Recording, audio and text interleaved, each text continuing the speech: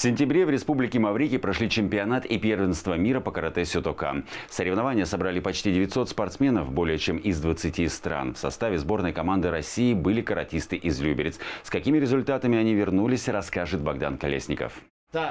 Старший тренер комплексной спортивной школы Олимпийского резерва Сергей Оболенский проводит тренировки пять раз в неделю. Перед началом упражнения для общего разогрева, растяжка и базовые элементы основных движений сётакан. Милана Инькова восточными боевыми единоборствами занимается восьмой год. На ее счету около сотни успешных поединков. Завоевала две золотые медали на международных соревнованиях, три раза одержала победу в первенствах России.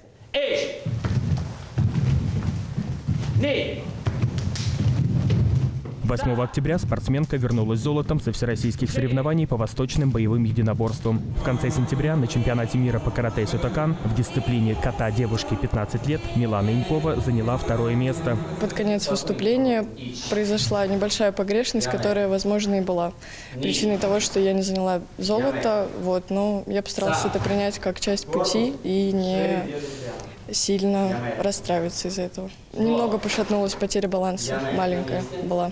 Там еще были довольно нестандартные для нас э, поверхность, покрытие. Вот, мы привыкли на татами заниматься, там были именно, как сказать, Маты, маты для самбо. Сергей Оболенский работает в Люберцах более 30 лет. Десятки его воспитанников стали чемпионами России, Европы и мира. Серебряный призер Кубка мира не только тренирует детей, показывая им наиболее эффективные приемы в карате, но и оттачивает свое мастерство. На чемпионате мира в Маврикии спортсмен занял второе место среди ветеранов. Для меня сейчас выступление на соревнованиях – это не то, чтобы добиться, завоевать кубок, очередную медаль. Э, само соревнование является стимулом для тренировок тренировок.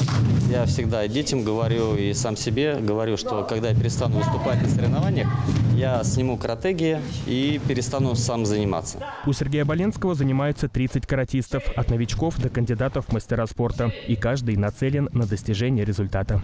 Богдан Колесников, Денис Заугольников, телеканал ЛРТ.